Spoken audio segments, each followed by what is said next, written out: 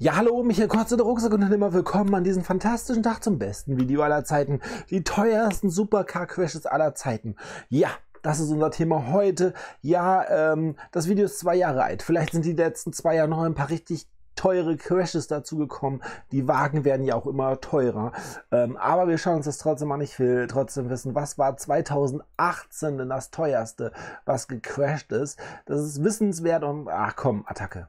Hey Leute und herzlich willkommen bei Wissenswert. Unfälle sind immer ein Ärgernis, vor allem wenn sich die Leute dabei verletzen. Doch heute haben wir glücklicher. Das stimmt. Also hoffentlich verletzt sich dabei keiner. Äh, Blechschaden ist auch schon äh, traurig genug äh, für die Besitzer. Ähm, wenn du hart erspart das hast, das Geld für das Auto und dann ist es Schrott, oh ja, je nach Versicherung ist es natürlich dann schon ähm, nicht schön nur Blechschäden für euch, allerdings extrem teure. Wir zeigen euch, wie Menschen in Sekunden Hunderttausende Euro an Wert Nein. Hier sind die größten Supercar-Crashes.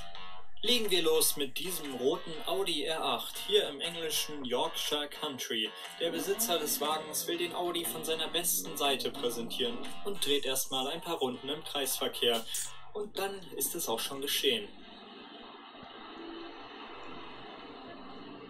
Und dann? Und dann und dann und dann und dann? Der fährt ja langsam eigentlich. Okay, jetzt gibt er Gas. Okay, Haftung verloren. Bam. Nein! Das war das? Okay, das sieht shit aus. Weiter geht's mit diesem Crash. Nein! Der Fahrer war wahrscheinlich überrascht davon, dass es auch noch andere Verkehrsteilnehmer gab.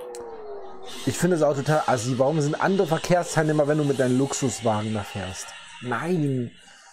Nein. Diese beiden italienischen Fahrer beobachten gerade einen neuen Ferrari, der gleich stark die Kontrolle verlieren wird. Es regnet, okay.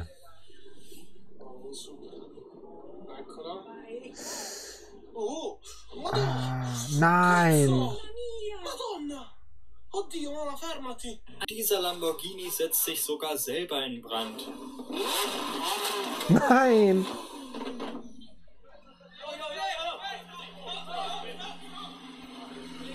Was dieser Ferrari-Fahrer gleich wagt, ist einfach nur unfassbar. Unfassbar dumm auch. Ein Polizist ist gerade dabei, dem Falschparker einen Strafzettel zu verpassen. Und dann? Der Schuldige will es nicht wahrhaben. Doch das macht das Ganze nur noch schlimmer.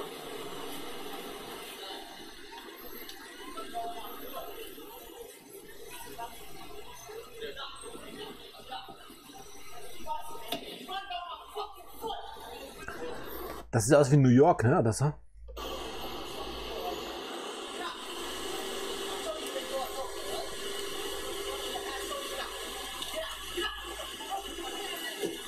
Nein.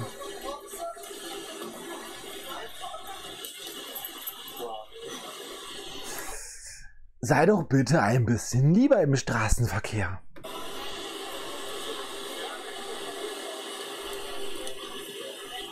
Besonders das Dumme ist ja, das Strafmatter hätte er ja sowieso bekommen. Na, er wäre vielleicht nett gewesen und so zum Polizist, hey, kann ich noch wegfahren oder so?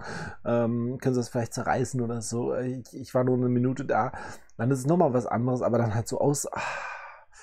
Der Fahrer dieses über eine Million Euro teuren Bugatti Veyrons ist wohl am Steuer eingeschlafen und steuert hier direkt in den See. Oh shit! Oh shit! Nein. Dieser Ferrari-Fahrer wird überrascht von zwei anderen Fahrzeugen, die mit ihm die Straße teilen, und es wird echt knapp.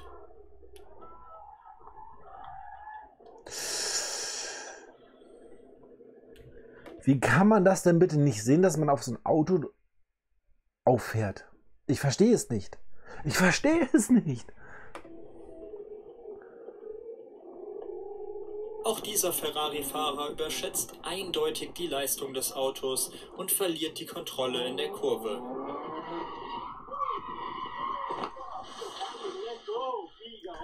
Das tut einen aber auch weh, ne? Der Blechschaden, wenn man schöne Autos mag. Alter Schwede. Der Audi R8-Fahrer in diesem Video blinkt einfach viel zu spät und verursacht dann sogar eine Massenkarambolage.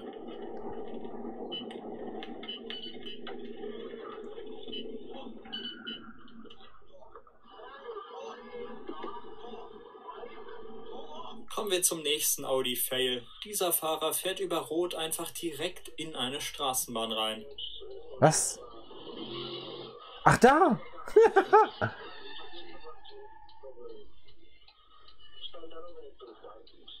Was für ein also ganz ehrlich, vielleicht einfach mal, also wenn das kein technischer Defekt ist, einfach lebenslang sperren. Am besten auch Fußgänger, der darf nicht mehr Fuß, kein Fahrrad fahren mehr, nichts mehr. Wer so etwas macht ohne technische Probleme am Auto, ähm, sollte vielleicht lebenslang kein Fahrrad mehr fahren dürfen. Also ganz ehrlich. Was ist denn eure Meinung? Schreib mal in, ja genau, schreib mal in den Kommentaren rein, wie ist das denn deine Meinung äh, bei so einem Unfall? Alter Schwede. Dazu. Manchmal muss man auch einfach sagen, dass es nicht ganz unverdient ist. Aber wir wünschen auch dem größten Angeber keinen Unfall. Schreibt eure Meinung mal in die Comments. Wir sehen uns das nächste Mal. Macht's gut. Ja, es ist echt heftig gewesen. Mein Name ist Michael Kurzer, ich bin der Rucksackunternehmer. Ich habe noch zwei weitere Videos für dich. Check die auch ab. Ich bin raus. Ciao.